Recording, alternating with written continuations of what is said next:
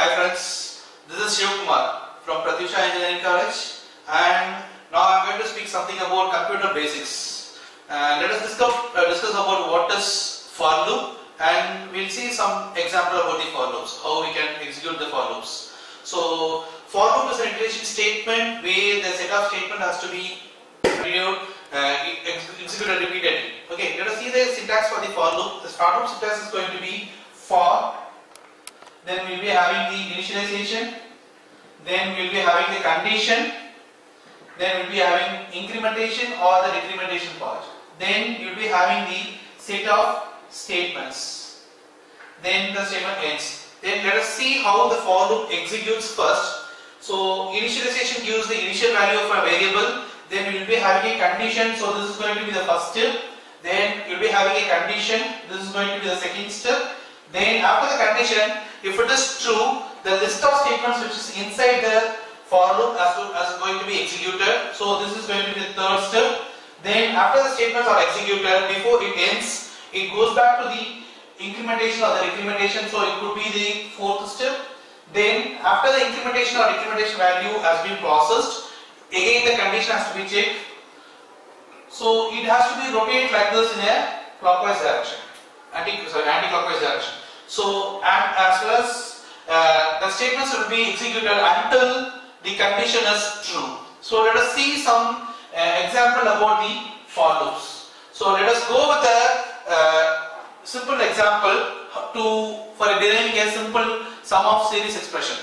Okay. So let us go with an expression called 1 plus sorry 1 by 1 factorial plus 1 by 2 factorial plus 1 by 3 factorial up to 1 by n factorial. So this is a typical equation where the students will get difficult in it.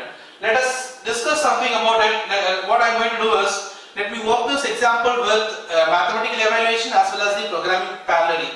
So if I uh, assume it first let me solve this method with the mathematical. So let us assume let me n is equal to 3 therefore we need to find the answer for 1 by 1 factorial plus 1 by 2 factorial plus 1 by 3 factorial.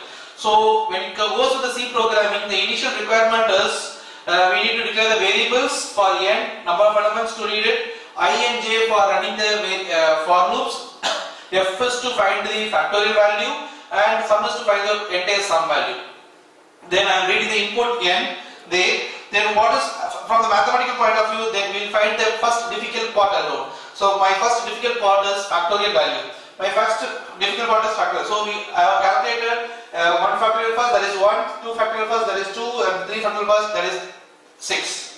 Similarly, I am reading the code for the uh, C programming. So I fact initial cases factorial f is equal to one then I will use my for loop j equal to 1, j less than equal to i and uh, j plus plus. I will tell you what is i later on. And to calculate the factorial, I have used f is equal to f asterisk j. So from mathematical point of view, uh, the next difficult part is division operation. So I do I did my division operation next. So 1 by 1 is 1, 1 by 2 is 0.5 and 1 by uh, 6 is 0.16. Similarly, in a programming, let me calculate the second one, 1 by f since the numerator is 1, I put uh, numerator is 1 and 1 uh, factorial is f. Now I, I want to do my addition operation with the factorial. So my third mathematical operation is addition operation and similarly for the program I have used my addition operation there. So where the for loop i equal to 1, i less than equal to n and i plus plus and in the down I have given sum is equal to sum plus 1 by f.